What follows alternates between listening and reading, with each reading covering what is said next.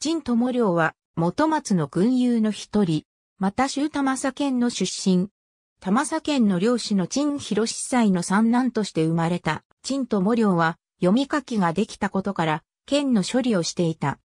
市政十年に黄金の乱に呼応して、湖北で女妃先が挙兵して、天音韓国の皇帝を称すると、その帰化の武将、芸文俊の母所城となり、次第に武将としての頭角を表して、徴用されるようになった。陳友領の大官の反都黄金軍の本体である、反林寺の僧とは、独立して行動し、天音韓国の皇帝を称していた、女妃先は、長江中流域に勢力を拡大していった。陳友領はその政権内部で、女妃先の暴殺を企てて失敗した上司の芸、文俊を殺害して、帰化の部隊を指揮下に収めた。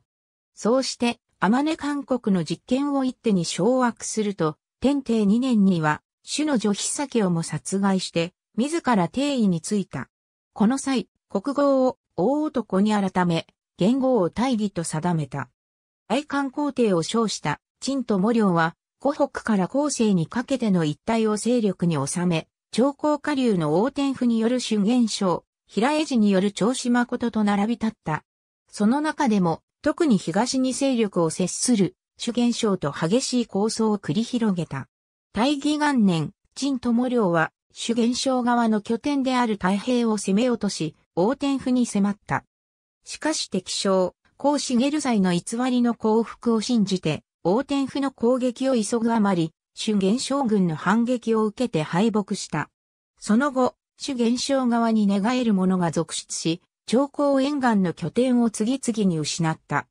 これを挽回するために大帝3年、数百隻の大船団を率いて、陽子で主元将軍と決戦したが、火攻めを受けて水軍は壊滅し、陳友良自身も矢を受けて、弟の陳友人と共に廃止した。